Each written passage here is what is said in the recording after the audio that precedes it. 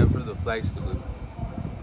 I pledge allegiance to the flag of the United States of America and to the republic for which it stands, one nation, under God, indivisible, with liberty and justice for all. Thank you. May be seated. Hi Titans. Do you find yourself throwing out those fun little packets of veggies that come with your lunches? Think about putting them to a different use. Miss Mott's guinea pig loves veggies and would also love to reduce waste. Drop any unwanted veggies by room 133 and Mott will make sure that they get to Ollie and Wally with love. Reminder, students and staff, you must now wear your school ID on a lanyard every day to school. Link crew will be coming around during break and lunch and sca- to scan your ID for Titan Bolts. Nipomo Theater Company invites you to grab your brooms and fly over to Olympic Hall on Halloween weekend to see their latest production, Puffs, or seven increasingly eventful years at a certain school of magic. It's a comedic spoof of the Harry Potter books told from the perspective of Hufflepuff, October 28th at 7 p.m. and October 29th at 2 p.m. and 7 p.m. Hey Titans, don't forget we have a minimum day this Friday.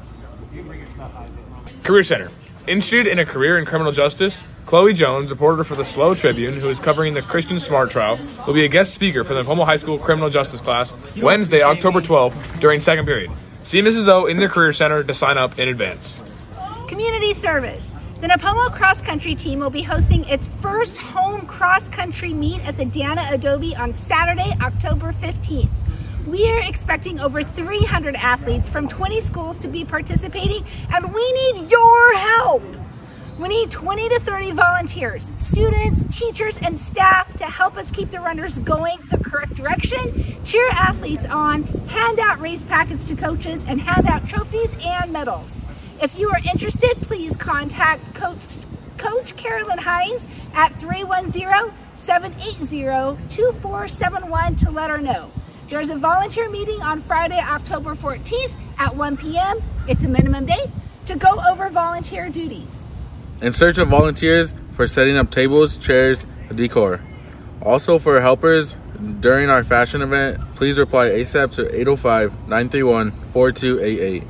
Mobile slash text. We greatly appreciate your participation.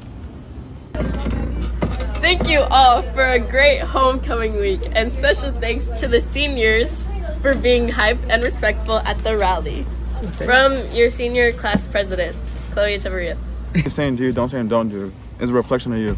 Time pride. Have a good week, Titans. Have a good week, Titans.